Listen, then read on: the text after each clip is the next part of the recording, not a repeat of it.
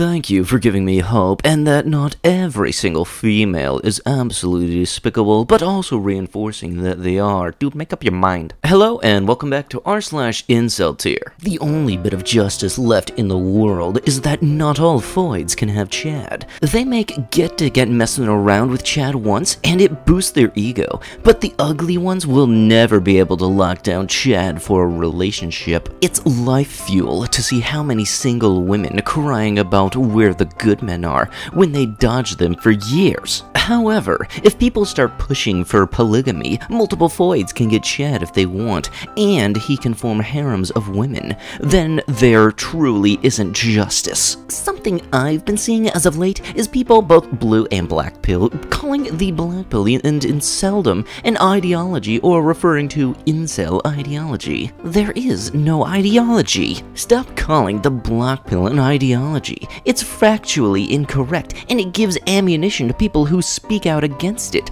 Those who speak out against truth. It's as much an ideology as a theory of relativity. The only reason it would be called an ideology is to make it easier to paint us as a terrorist organization such as Incel. The black pill is pure, undistilled truth in its raw form. Those who are black Pill usually notice its manifestations in our biological and evolutionary reality and the resultant social-sexual dynamics that follow from it. The black pill isn't about looks, it's about truth. Looks are simply one area where the truth of the matter is so blatantly evident that no intelligent mind can reasonably reject it. To be blackpilled simply means to speak the truth and the reality of something, to see things for how they truly are. It's conceptually antithetical to the notion of ideology. There's a lot of bullshit in many ideologies, religious, political, and economic. Ideologies are systems of beliefs. Those beliefs don't necessarily have to be true or correct, they only have to work for whatever society or system they apply to. The black pill is free from all of the baggage that ideologies carry.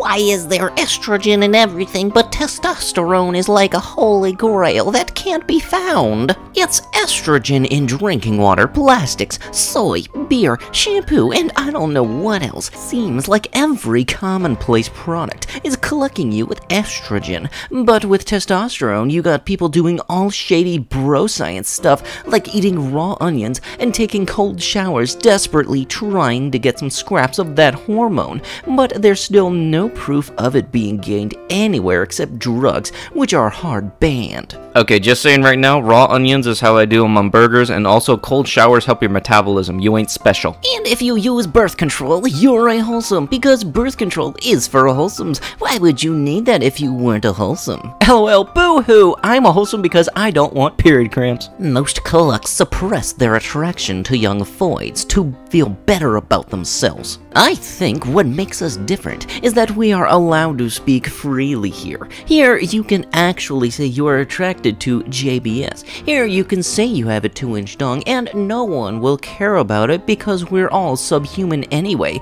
Most of us have nothing to lose. No man should be able to resist an attractive 14 to 15 year old foid. The only reason everyone seems to think we are perverts is because we are the ones of the only groups on the internet who can be honest about what we want and what we have. No one with a job or other position would dare to speak about feeling an attraction to young females due to the risk of losing their status. But I can assure you that every dude who isn't a happy feels this regularly but chooses to suppress it if there are other things at stake. Attraction to neoteny is hardwired in the male brain because it ensures the best quality of reproduction. This is something that foids cannot understand because of obvious reasons and is why they are more offended by topics like this. Saying that you get to speak your mind and be honest does not give you the right to be human filth. And just a heads up, if you feel uncomfortable saying it to an FBI officer, you probably shouldn't be saying it at all. I can tell if women don't have any self awareness, or if they do this on purpose in order to keep men in line as a dual mating strategy. This works because it makes a loyal, starved for attention men even more loyal because he won't be like all those other men. Well, they 100% do it on purpose. Just for laughs, if you don't think most people know what they are doing, including Foids, they're not stupid, they're evil.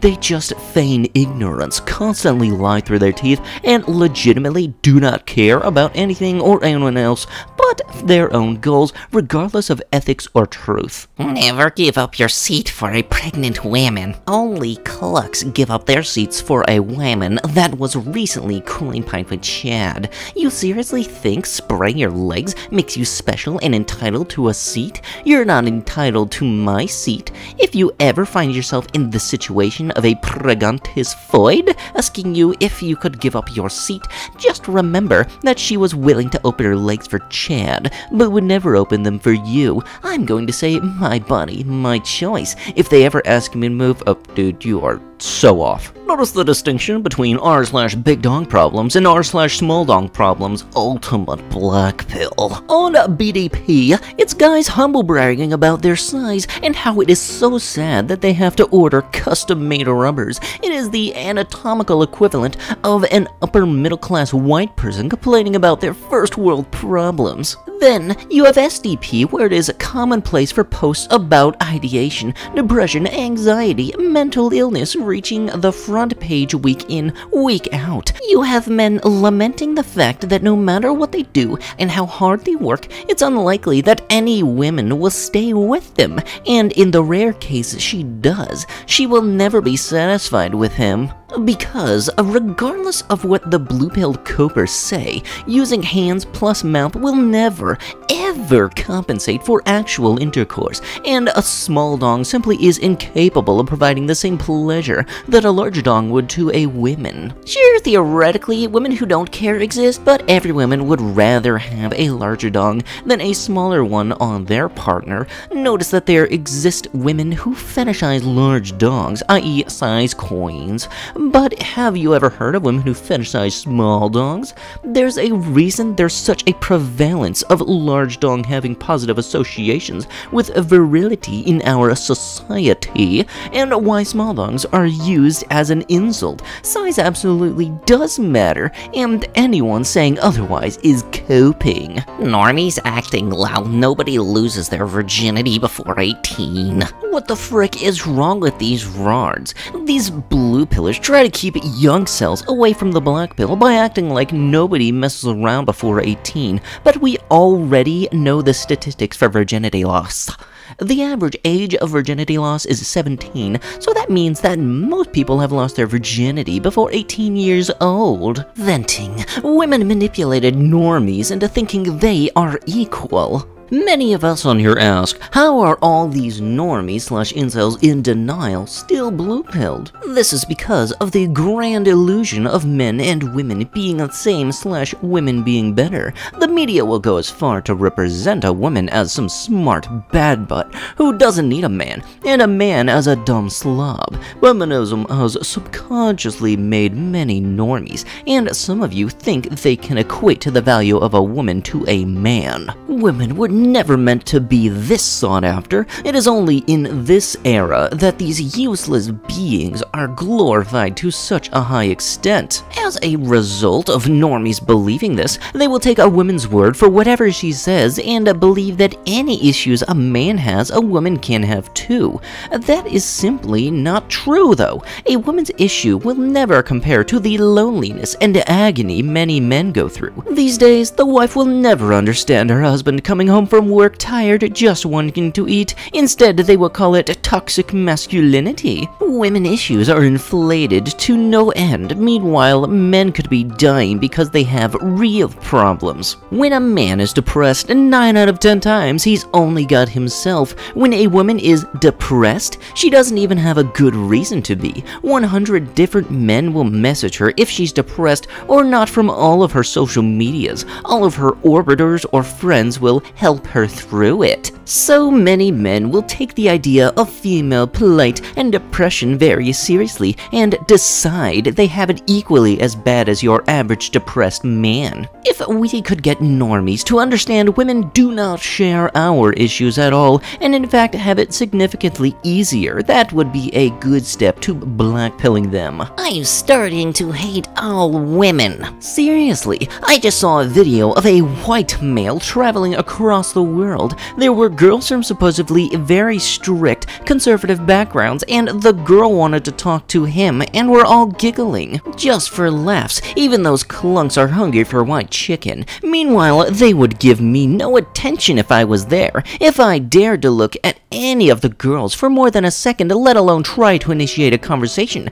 she would send her father, her uncles, brothers, and cousins to lunch me. Normally, I would consider it sweet fuel and feel like but now it just makes me hate them. It's pretty funny how most young guys are rotting alone depressed while women are being sluttier than ever outside. Every single white woman right now is going to countless vacations paid by daddy, going to bars, clubs, parties, venues, slash shows all the time, just basically living a completely carefree, great life with no worries, because that's what it is. It's all paid for by everyone else, and literally no wrong can happen to them because they have the government and simps to cover their every frick up. It's happening more than ever because roasts also now needed to document everything on Instagram more than ever. Meanwhile, more and more young guys are rotting alone, depressed, coping with video games. Just look at the rising popularity of those types of forums, of games, or copes aimed towards males in general. I'm not going to comment on how useless Olsums are trying to invade those copes as well.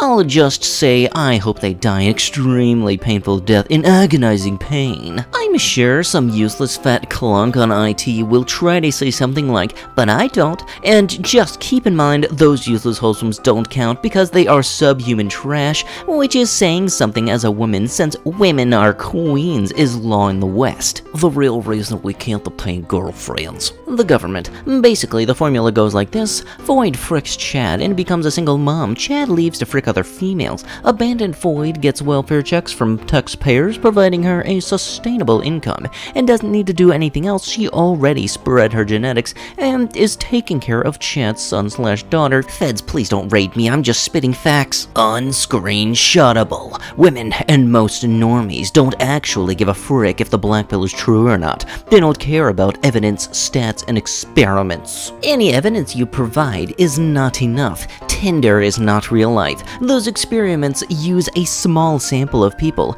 not 7.5 billion people. Those experiments are taken out of context. The point is, nothing will ever be proof to them because they are not interested in whether it is true or not. They don't like the tenets of the black pill because they upset women and infer that women don't have agency and are just slave to their biological imperative to be donged down by Chad or failing that to secure a beta provider who they don't mess around with. Who cares if it's true? It is offensive, so nah nah nah, I can't hear you. Remember the incel Tierfoid who said, I don't like that statistic that 28% of men are incel, cause it makes it seem as if incels are right. That's it in a nutshell. I don't like any facts you present, cause it uh, butt fricks my worldview. You can't prove them wrong, cause your facts are wrong, not well sourced, biased, not scientific, etc. They don't give a shot. If any incel tierer is brave enough to screenshot this, none will. Note that in their comments, there will be no credible refutation of that study that at least 28% of men are incel. They just gloss over it and strawman me. Yikes, I bet he ropes babies in his basement, silly incel shouting into the wild, why won't women date me? LOL incels and their facts can't find the statistic they're referring to. Even though I didn't Google it, the statistic didn't present itself to me, and therefore it doesn't exist, etc. Edit! I will update this thread with egg on my face if they screenshot it and disprove my assertion above. And with that, that is going to have to be it with the video. If you want to be absolutely amazing and supportive for the channel, be sure to slam the like button, comment down below what you liked about the video, and if you have not already subscribed to the channel, I'll be sure to see you guys in the next one. Thank you so much for watching, and bye-bye.